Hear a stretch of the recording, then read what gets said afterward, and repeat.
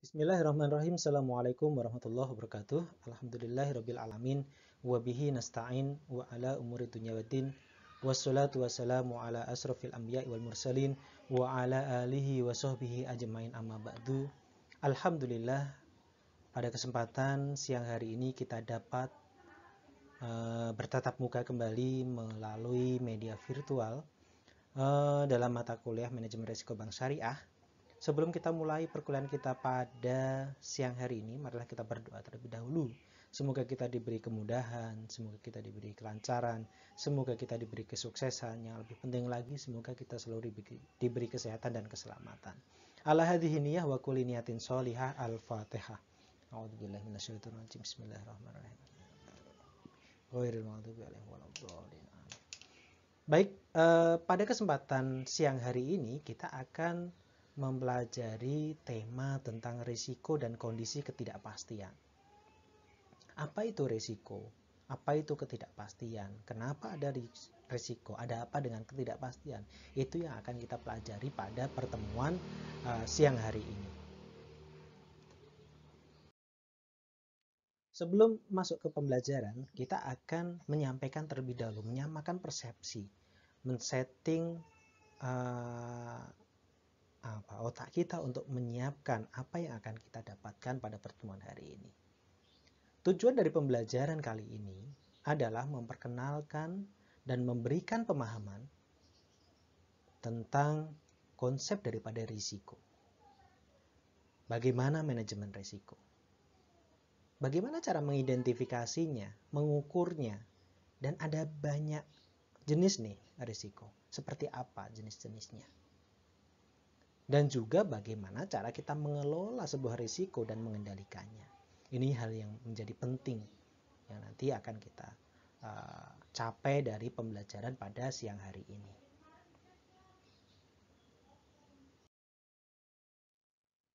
Definisi risiko ada banyak uh,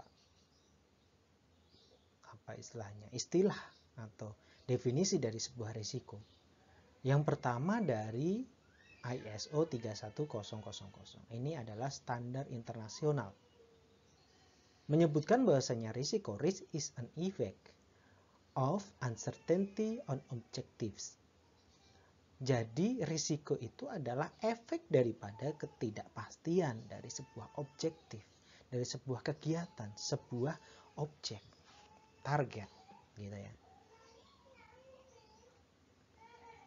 An effect is a deviation from the expected positive or negative.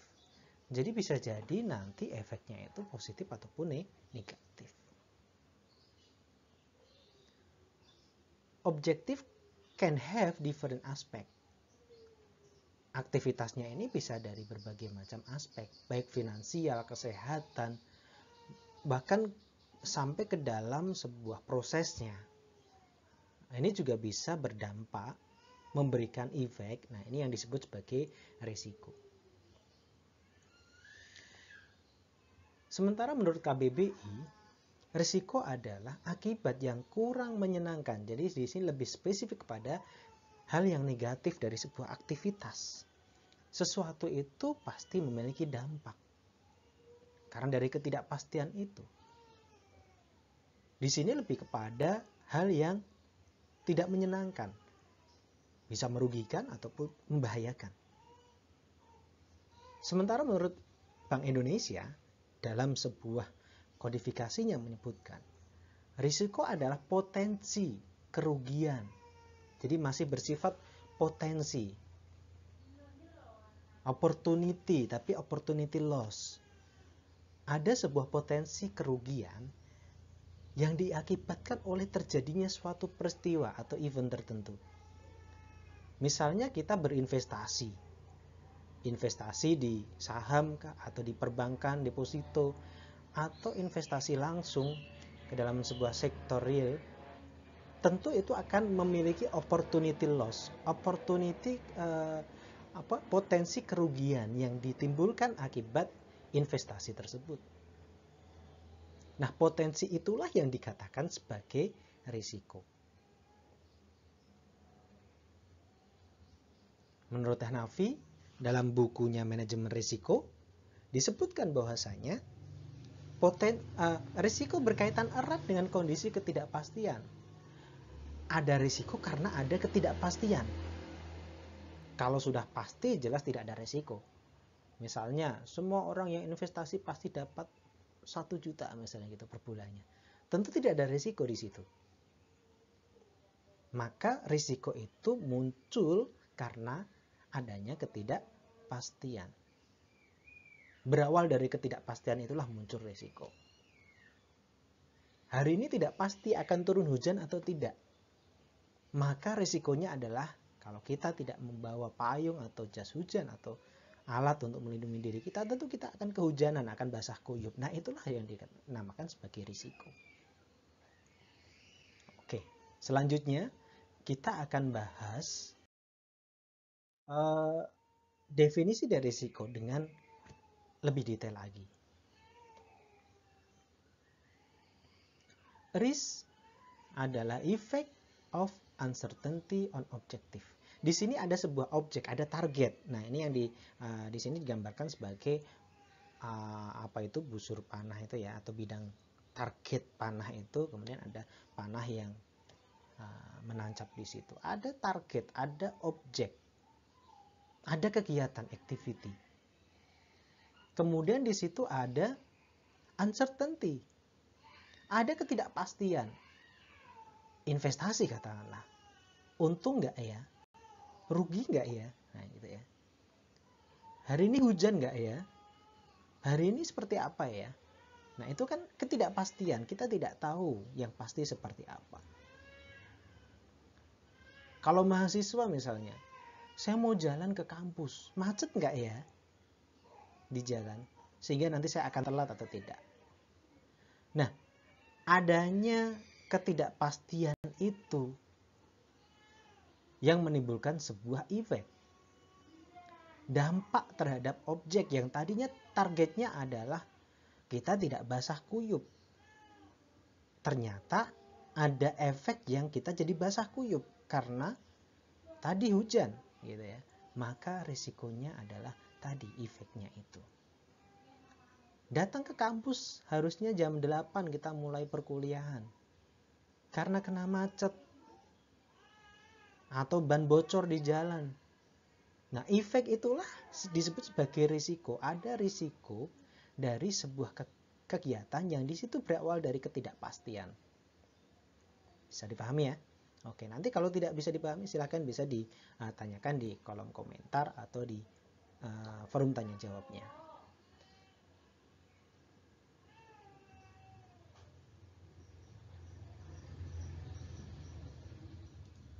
Selanjutnya, ini contoh daripada uh, tadi ilustrasinya seperti ini. Di sini ada Adi. Sebut saja namanya Adi, seorang mahasiswa UIN Wali Songo Semarang. Adi tiap hari di hari kerja, weekdays, dia selalu kuliah. Jadi targetnya adalah, objeknya, objektifnya adalah bisa kuliah tepat waktu. Atau menghadiri perkuliahan tepat waktu. Karena kalau tidak, bisa jadi Adi tidak boleh masuk kelas. Atau kalaupun boleh masuk kelas dia akan ketinggalan mata kuliah ketinggalan pelajaran seperti apa di sini ada objek ada ketidakpastian ketidakpastiannya di mana rumah Adi menuju ke kampus ini ada jaraknya. Katakanlah Adi tinggalnya di Genuk atau tinggalnya di Kendal. Tentu proses perjalanan dari rumah Adi dari Kendal atau dari Genuk ke Uin Wali Songo ada proses yang uncertainty, ada proses perjalanan yang tidak pasti. Normalnya katakanlah perjalanan setengah jam, normalnya. Tetapi we don't know what happened. Kita tidak tahu apa yang terjadi di perjalanan. Bisa jadi tadi yang kita sebutkan, bannya Adi bocor atau ada kecelakaan yang sehingga Adi ini terhambat perjalanannya. atau macet lah gitu ya dan lain sebagainya atau telat bangun harusnya jam 7 dia harus mulai start berangkat sehingga sampai kampus setengah 8 dia masih punya spare waktu tapi ternyata Adi ter, terlambat karena harus telat bangun ataupun dia harus membantu orang tuanya tentu perjalanannya ini tidak seperti yang diharapkan. Ada risiko yang mungkin bisa terjadi. Apalagi antara ketika Adi menggunakan sepeda motor ataupun berjalan kaki tentu beda kondisinya. Maka ada efek daripada ketidakpastian tadi. Saya bisa nyampe jam berapa? Di jalan terjadi uh, kendala atau tidak? Terjadi masalah atau tidak? Nah, ini sebuah contoh ilustrasi bagaimana risiko itu terjadi.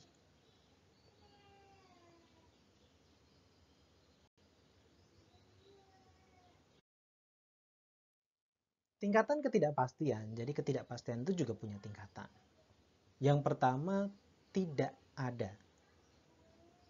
Tidak pasti. Karakteristiknya biasanya hasil bisa diprediksi dengan pasti. Maksudnya di sini ada tidak ada ketidakpastian, jadi pasti gitu ya. Hasilnya bisa diprediksi. Misalnya hukum alam. Gravitasi misalnya gitu ya kalau kita jatuh dari gedung pasti mati ya misalnya kayak gitu ya. Pasti meninggal dunia. Atau benjut bahasanya gitu ya. Nah ini sebuah contoh uh, hukum alam gravitasi yang sudah pasti tidak ada ketidakpastian itu tidak ada. Jawabannya ya cuma itu pasti gitu ya. Tidak ada opsi dia akan selamat misalnya gitu ya. Kemudian ketidakpastian yang objektif kalau objektif itu berarti uh, apa ya? Dari sisi objeknya gitu ya. Hasil bisa diidentifikasi dan probabilitas diketahui. Contohnya di sini ada permainan dadu maupun kartu. Itu kan hasil bisa diidentifikasi. Bisa diketahui. Misalnya uh, probabilitasnya juga diketahui. Dadu itu kan ada 6 ya kemungkinannya kan antara 1 sampai 6. Nah, kalau perputarannya dari mana itu bisa dikalkulasikan. Nah, ini ah, berdasarkan objeknya. Ada ketidakpastian dari sisi subjeknya. Kalau subjek berarti siapa? Pelaku. Hasil bisa diidentifikasi tapi probabilitasnya tidak diketahui. Seperti kebakaran, itu pasti bisa terjadi. Kecelakaan mobil itu juga bisa jadi pasti terjadi. Investasi juga sama. Tetapi kita tidak bisa mengetahui secara detail probabilitasnya. Artinya seperti ini. Uh, kapan setahun sekali atau berapa tahun sekali rumah akan kebakaran? Itu tidak tidak bisa dikalkulasi gitu. Karena memang terjadinya adalah secara tiba-tiba. Kecelakaan juga sama. Kita tidak bisa membaca probabilitasnya. Tapi tetap bisa diidentifikasi. Misalnya kalau kita tidak berhati-hati di jalanan kita akan kecelakaan. Kalau kita main mob, apa uh, menyetir mobil dengan sambil main HP, tentu akan ada potensi untuk kecelakaan. Bisa diidentifikasi tetapi probabilitasnya besarannya berapa kemungkinan terjadi tidak dapat diketahui. Sangat tidak pasti ini yang lebih ini lagi ya hasil tidak bisa diidentifikasi, probabilitas juga tidak diketahui. Karena memang hal-hal hal yang baru, misalnya eksplorasi angkasa. Ini kan hal baru yang memang kita tidak belum tahu ilmunya gitu ya. Sehingga menyebabkan sesuatu itu sangat tidak pasti. Selanjutnya, tipe risiko atau tadi jenis-jenis risiko. Risiko dibagi menjadi dua, pure, murni, ataupun spekulatif. Murni dibagi juga menjadi statis dan juga di dinamis. Spekulatif juga sama dibagi menjadi dua, statis dan dinamis. Statis dibagi menjadi dua, subjektif dan objektif. Tadi berdasarkan subjek pelakunya maupun objek daripada uh, targetnya tadi. Nah, ini kita jelaskan risiko murni itu yang seperti apa. Risiko murni adalah risiko di mana kemungkinan kerugian ada, kemungkinan akan kerugiannya itu ada, tetapi kemungkinan keuntungan tidak ada. Jadi murni 100% adalah risiko. Gitu ya. Ruginya pasti ada, tetapi untung tidak ada. Kayak tadi kebakaran contohnya ya. Kebakaran itu kan potensinya rugi. Risikonya rugi. Ada nggak keuntungan ketika kebakaran? Ya biasa aja ya. Eh, rumah bisa bisa dipakai gitu, mobil masih bisa digunakan. Tapi kan itu bukan sebuah keuntungan yang uh, uh, kita harapkan ya apa ya istilahnya yang bisa menambahkan manfaat gitu ya tetapi itu fungsi yang semestinya terjadi nah risiko murni ini dia hanya datang berupa negatifnya saja kerugiannya saja selanjutnya ada risiko spekulatif yang di mana antara keuntungan dan kerugiannya 50-50 ya bisa jadi untung bisa jadi rugi. Biasanya di sini uh, di finansial ya uh, di investasi. Uh, biasanya adalah di investasi. Seperti ketika kita uh, beli saham kita berdeposito dan lain sebagainya tentu di situ ada kemungkinan keuntungan tapi juga memungkinkan juga untuk kita rugi nah, yang berikutnya ada risiko statis muncul dari kondisi keseimbangan tertentu. Gitu. Yang keempat ada risiko dinamis, muncul dari perubahan kondisi tertentu, perubahan kondisi masyarakat, dan perubahan teknologi.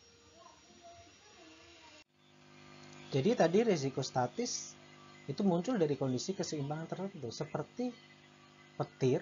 Nah, itu terjadi contohnya ya merupakan risiko yang muncul dari kondisi alam tertentu yaitu hujan gitu ya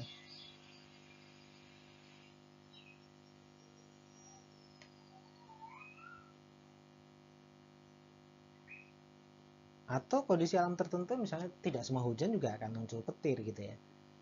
Tapi bisa jadi nah ini lebih nanti di uh, fisika ya atau di geografi ya atau di pelajaran itu ya. Apa yang menyebabkan petir itu terjadi gitu ya.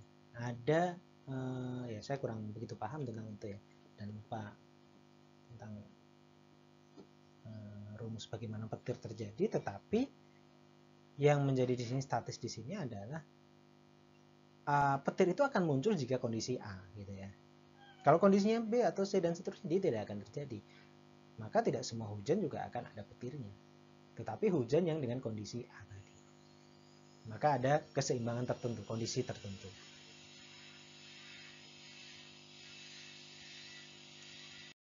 Selanjutnya ini berikut ini adalah contoh-contoh dari resiko murni. Tadi resiko yang betul-betul eh, dampaknya adalah kerugian. Contohnya resiko aset fisik. Resiko yang terjadi karena kejadian tertentu berakibat kerugian atau aset. Contohnya tadi kebakaran, banjir gitu ya. Ini uh, risiko aset fisik dan murni risiko. Tadi rumah tidak mungkin uh, keuntungan dari yang kita gunakan. Yang ada rumah itu semakin hari semakin perlu direnovasi ya uh, apa itu menurun kualitasnya mobil juga demikian motor juga demikian semakin hari semakin kita pakai semakin berkurang manfaatnya atau nilai objeknya yang kedua risiko karyawan Risiko karena karyawan mengalami peristiwa yang merugikan. Misalnya kecelakaan kerja. Ya kan? Namanya kecelakaan kerja pasti efeknya cedera. Kalau cedera dia pasti akan dimut, uh, apa pensiun dini dan lain sebagainya. Berikutnya ada risiko legal, risiko kontrak tidak sesuai dengan yang diharapkan. Ini terjadi juga di dunia perbankan. Dokumentasi yang tidak benar terjadi perselisihan perusahaan lain. Gitu ya. Berikutnya adalah berikutnya adalah contoh-contoh resiko spekulatif. Spekulatif tadi itu yang dikatakan sebagai 50-50 kemungkinan terjadinya resiko. Bisa jadi risiko itu bukan uh, terjadi risiko tapi efek risikonya itu positif maupun negatif. Katakanlah uh, apakah keuntungan atau kerugian gitu ya. Contohnya adalah risiko pasar. Risiko pasar itu adalah risiko terjadi dari pergerakan harga atau uh, volatilitas harga pasar. Jadi harga pasar, penawaran, permintaan itu fluktuatifnya luar biasa maka ada risiko pasar di situ antara keuntungan maupun kerugian. Maka yang terjadi ilustrasinya contohnya adalah harga pasar saham dalam portofolio perusahaan mengalami penurunan yang mengakibatkan kerugian yang dialami perusahaan. Tapi juga bisa jadi dia akan mendapatkan keuntungan kalau dia di posisi yang benar. Nah, inilah yang disebabkan yang dinamakan sebagai spekulatif ada kemungkinan opportunity loss maupun opportunity uh, income atau mendapatkan keuntungan.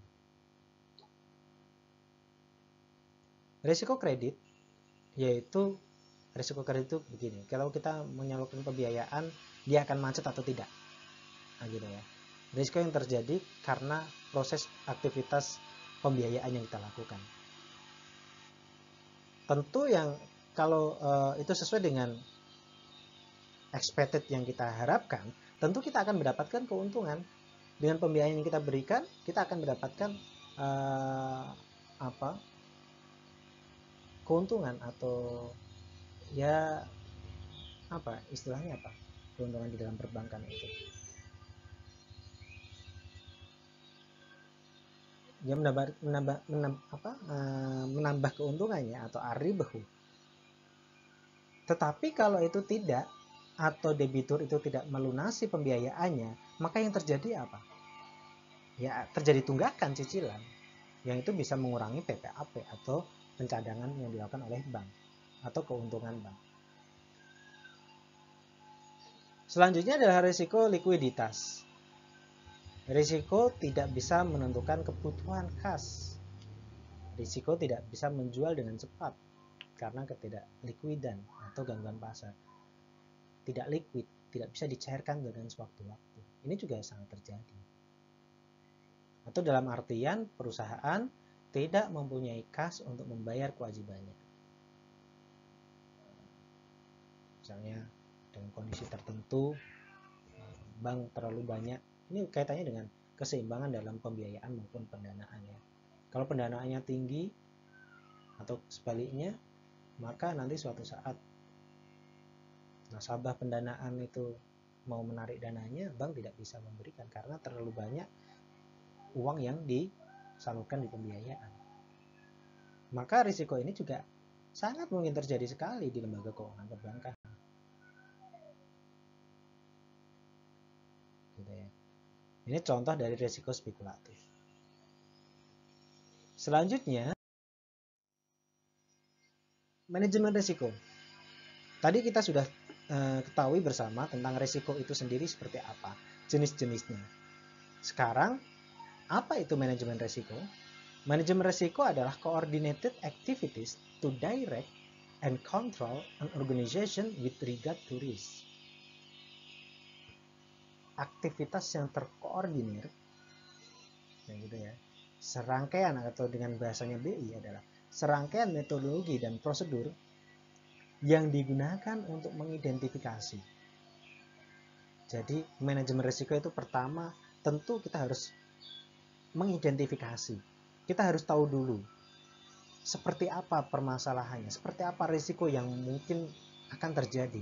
Kita harus diidentifikasi. Kemudian diukur. Jadi dengan manajemen risiko tentu kita akan mengukur risiko tersebut berapa kemungkinan uh, kerugiannya yang terjadi dengan risiko tersebut. Kemudian memantau, kita juga ada proses pemantauan. Betul nggak tadi yang sudah kita identifikasi, yang kita sudah ukur, proses berjalannya waktu sedemikian itu? Dan kemudian kita juga harus mengendalikan dengan manajemen risiko. Berarti di situ juga ada proses pengendalian daripada risiko yang timbul dari seluruh kegiatan usaha bank. Gitu ya. Jadi proses manajemen risiko adalah pertama mengidentifikasi, Kemudian kedua adalah mengukur. Yang ketiga, memantau. Kemudian yang ketiga adalah actionnya mengendalikan risiko itu. Manajemen risiko bertujuan untuk mengelola risiko. Risiko itu tidak mungkin kita uh, tidak ada dalam sebuah kegiatan, aktivitas. Pasti semua kegiatan ada risikonya.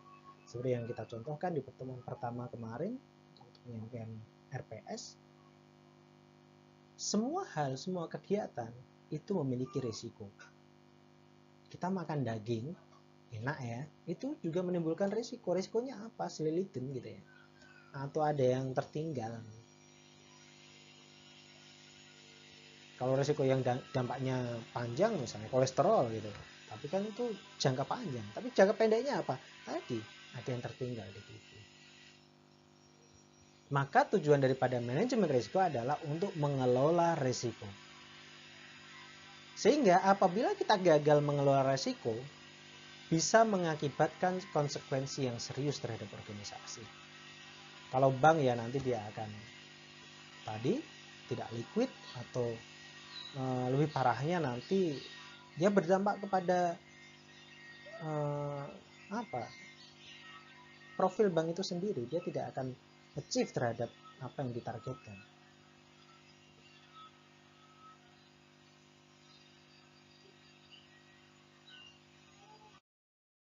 manfaat daripada manajemen risiko apa saja manfaatnya yang pertama adalah menyelaraskan risk appreciate dan strategi jadi antara ris risiko tadi dengan strateginya seperti apa ini ada penyelarasan. Ya. Yang kedua, linking growth, risk and return. Menghubungkan pertumbuhan, risiko, dan keuntungan. Jadi tidak berdiri sendiri-sendiri. Tapi ada hubungan, ada uh, link and match gitu ya.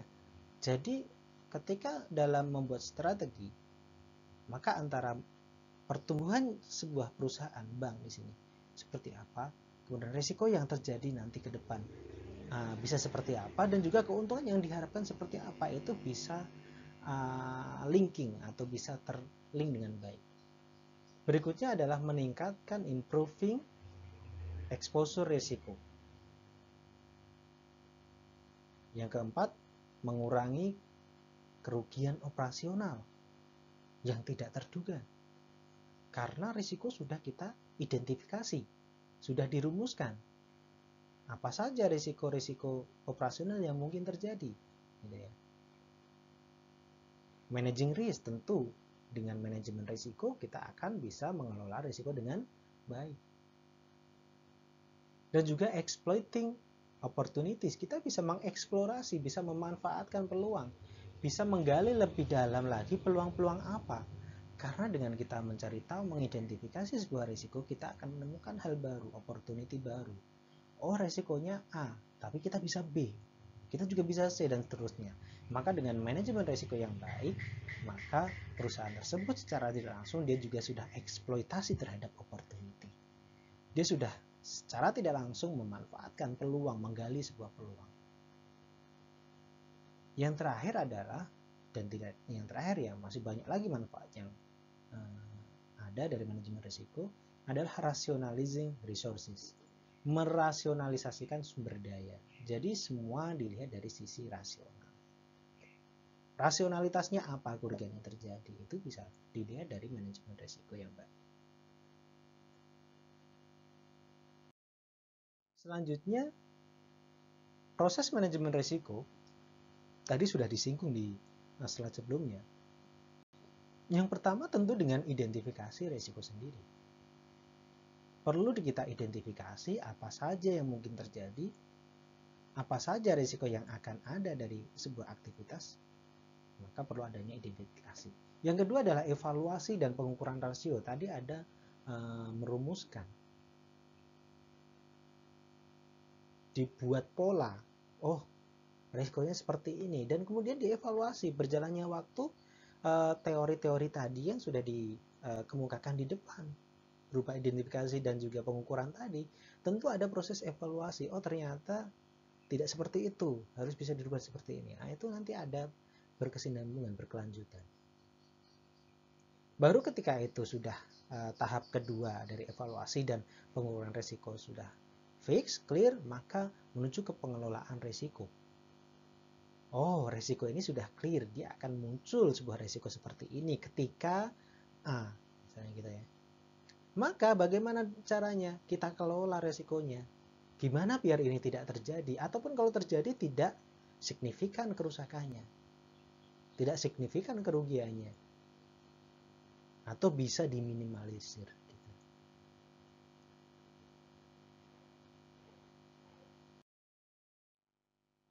Identifikasi tadi uh, dilakukan untuk mengidentifikasi, untuk mengetahui risiko apa saja yang dihadapi sebuah perusahaan atau organisasi atau bank. Banyak caranya untuk mengidentifikasi bisa dengan menelusuri sumber risiko sampai terjadi peristiwa dan yang tidak diinginkan. Ya, macam-macam caranya untuk mengidentifikasi sesuatu. Sama dengan cara mengidentifikasi permasalahan dan sebagainya. Misalnya kalau dalam dunia kedokteran misalnya gitu ya. Dokter ketika mau mengasih obat, tentu dia harus mendiagnosa. Nah, diagnosa itu adalah bentuk dari identifikasi. Ditanya kemarin makan apa? Kemarin segini gimana? Sudah minum obat apa aja, alergi apa aja, itu identifikasi. Dalam perbankan atau ini juga diidentifikasi resiko-resikonya. Oh pernah terjadi kerugian seperti ini tuh karena apa? Ditelusuri.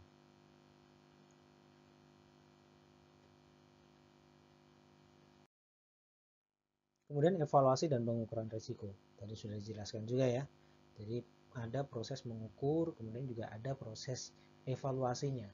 Diperbaiki eh, apa-apa saja yang perlu diperbaiki.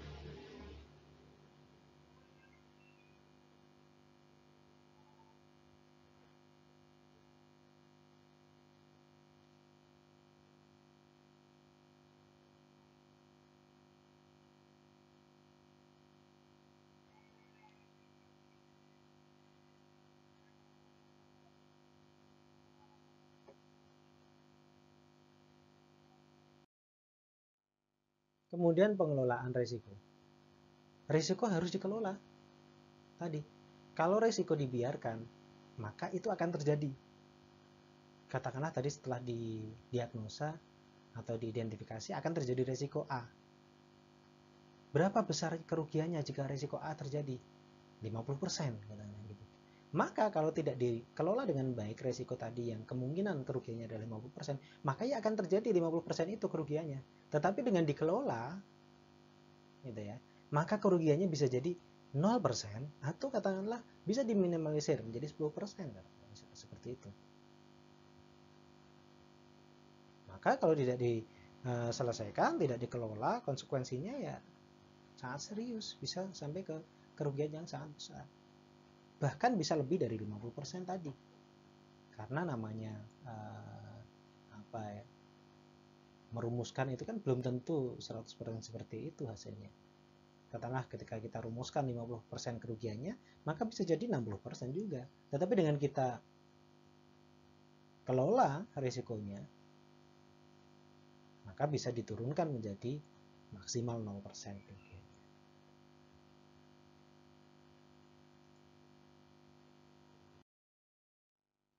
Nah, pengelolaan risiko ada apa aja? Yang pertama adalah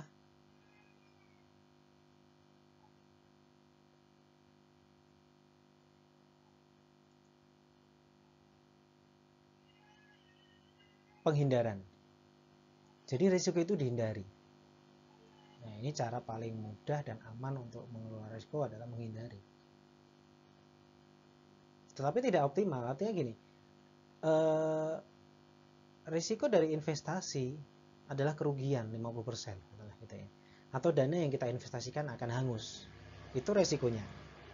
Dengan kita menghindari tentu kita tidak dapat mendapatkan keuntungan juga. Kita tidak jadi investasi aman pasti uangnya kita simpan aja di uh, celengan atau di tabungan biasa gitu itu cara untuk menghilangkan resiko tadi kehilangan investasi tadi 50% tapi ya kita tidak dapat memaksimalkan potensi yang kita miliki yang kedua dengan cara ditahan retention dalam beberapa situasi akan lebih baik jika kita menghadapi sendiri risiko tersebut dengan menahan tersebut. Nah, gitu ya. Yang berikutnya adalah dengan diversifikasi. Diversifikasi itu menyebarkan. Nah, pernah mendengar istilah don't put the egg only in one bracket gitu ya. Jangan menaruh telur hanya di satu tempat. Karena kalau telur ditaruh di satu tempat, maka kalau dia jatuh akan pecah semuanya. Maka taruhlah telur di banyak tempat, ada di atas uh, piring, ada di gudang, ada di sini. Jadi kalau jatuh yang piring tadi masih punya resources telur yang lain. Investasi juga demikian. Kalau kita takut dengan risiko dari sebuah investasi, maka letakkanlah investasi banyak tempat. Ada investasi di deposito, ada di sukuk, ada di sektor real, ada di tabungan. Masing-masing punya profil risiko yang berbeda-beda. Ada yang tingkat risikonya tinggi, ada yang risikonya bahkan tidak ada. Nah, disertifikasi ini dalam rangka untuk mengelola risiko. Jadi kalau nanti risiko yang uh, di saham tadi jatuh, maka dia bisa masih punya resources di tabungan atau deposito yang dari sifat atau karakteristik resikonya lebih rendah. Atau dengan cara kita mentransfer resiko, memindahkan resikonya. Kalau tidak mau menanggung risiko tertentu, ya kita bisa mentransfer risiko tersebut ke orang lain atau pihak lain. Nah, ini biasanya di sini ada namanya asuransi. Risiko tersebut sebetulnya adalah risiko saya, tapi ketika saya mentransfer risiko tersebut ke pihak asuransi, maka ketika terjadi risiko, yang rugi tidak saya, tapi asuransi. Nah, contohnya adalah itu, asuransi kecelakaan motor atau kebakaran dan sebagainya. Ketika rumah itu kebakar, motor itu hilang atau motor itu uh, rusak karena kecelakaan, maka si pemilik tidak perlu menanggung risiko itu karena risiko akan ditanggung oleh si pihak asuransi. Ini namanya dengan transfer ya, resiko. Atau pengendalian risiko. Pengendalian risiko dilakukan untuk mencegah atau menurunkan probabilitas terjadinya risiko atau kejadian yang tidak kita inginkan dengan dikendalikan. Tadi ketika diidentifikasi rumusnya misalnya gitu ya. Risiko akan terjadi jika kondisinya A. Maka bagaimana caranya tidak terjadi kondisi A? Nah, ini bisa dikendalikan. Juga bisa dengan pendanaan risiko. Artinya pendanaan risiko di sini adalah bagaimana uh, kita bisa mendanai kerugian yang terjadi jika suatu risiko muncul. Artinya ada backup. Ada backup tapi berupa dana dana kita sendiri. Katakanlah gini, kalau e, nanti terjadi risiko yaitu motor kecelakaan rusak misalnya gitu ya, atau motor hilang. Bagaimana risiko untuk menanggung itu? Oh tenang, saya udah punya dana yang saya tabung sekian lama untuk bisa saya pakai untuk membeli motor baru lagi ketika terjadi risiko tersebut. Atau ketika bisnis kita punya banyak bisnis, ketika bisnis A rusak atau rugi gitu ya, kita masih punya dana untuk bisa membackup bisnis tersebut sehingga bisnis tetap bisa ber, berjalan.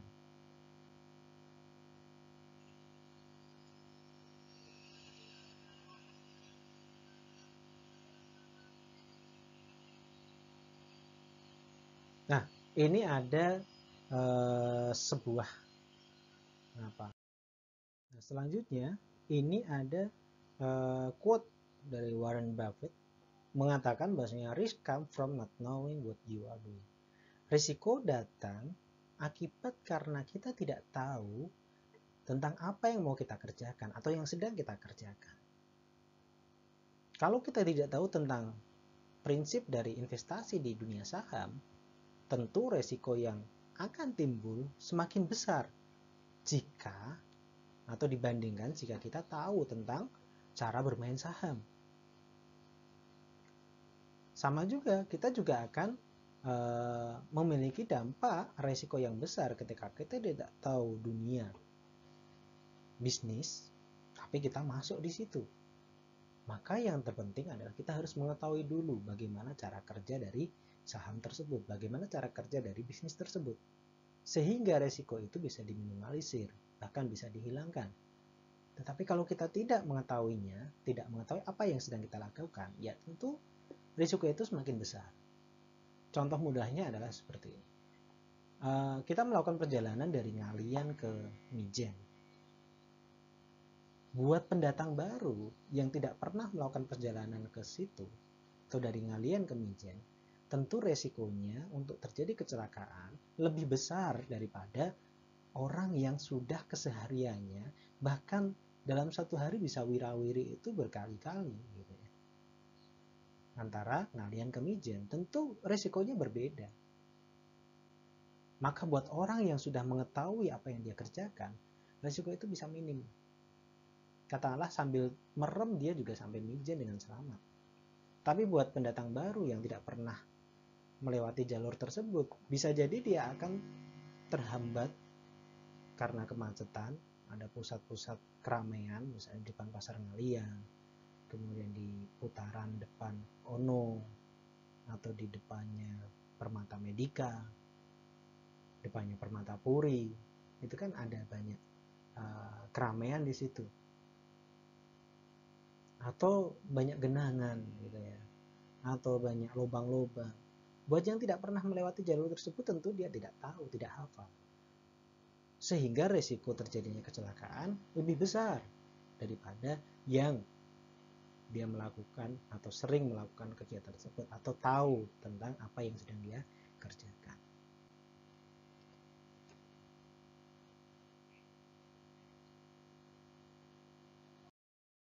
Sekarang tugasnya, eh, tadi sudah selesai pembahasan kita terkait dengan eh, risiko dan ketidakpastian tadi. Tugasnya adalah carilah video di YouTube. Cukup linknya saja yang disematkan ya, nggak usah di-download kemudian diunggah. Yang bisa menjelaskan tentang definisi, definisi dari risiko. Silahkan cari video bisa penjelasan tentang resiko itu sendiri atau sebuah film atau apa pun atau lagu atau klip dan sebagainya yang bisa menjelaskan tentang definisi resiko. Lalu jelaskan secara singkat di mana letak ah, definisi resikonya seperti apa. Kemudian yang kedua adalah berikan contoh risiko yang akan Anda alami. Jelaskan. Misalnya saya sekarang semester 5 misalnya gitu ya. Bentar lagi saya mau lulus. Risiko yang mungkin terjadi adalah terlambat lulus misalnya gitu ya. Atau sekarang posisi saya adalah di kampung. Sinyal susah dan lain sebagainya. Silahkan cari eh, risiko yang akan anda alami. Masing-masing tentu beda risikonya. Lalu jelaskan bagaimana itu terjadi di mana letak ketidakpastiannya eh, kemudian opportunity seperti apa, dan bagaimana cara Anda dalam mengatasi mengelola risiko tersebut. Itu ya, oke? Okay? Oke, okay, sekian uh, materi kita pada pertemuan kedua ini. Semoga bermanfaat. Jika ada pertanyaan, silahkan bisa ditanyakan langsung di kolom komentar atau ditanya jawab atau bisa melalui langsung ke WA. Oke, terima kasih. Uh, semoga kita semuanya diberi kesehatan, keselamatan, kita diberi kekuatan, kemudahan, kelancaran dalam proses uh, kuliah. Dan terakhir, uh, terima kasih. Assalamualaikum warahmatullahi wabarakatuh.